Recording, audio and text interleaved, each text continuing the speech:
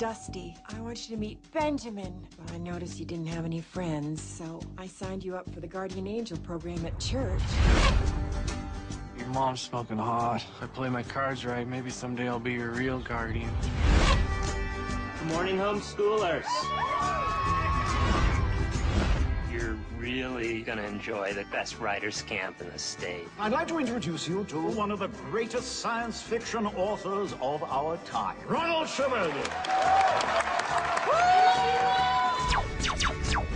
I'm assuming you love to write fantasy fiction. Except the character names in your stories are suffering. Need thou not be afraid? We can add Onius, Ainus, or Anus to just about anything and it becomes magical. So when are you gonna let me read one of your stories? I'd let my mom read a few, but they've just made her cry. you can read this. Bronco and Vinaya began their assault on the Yeast Factory. Bronco. I am your soldier.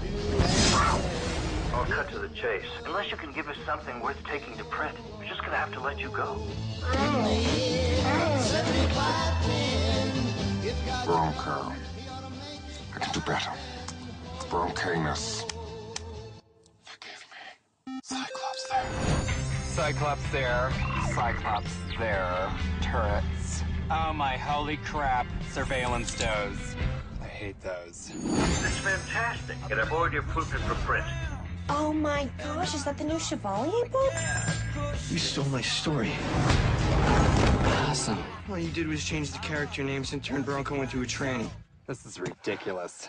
Somebody come down here and fight me like a man! Seize him! There's this one thing I can't stand. It's plagiarism. I'm completely distressed. I can't even concentrate on my audiobook narration. Gentlemen Broncos,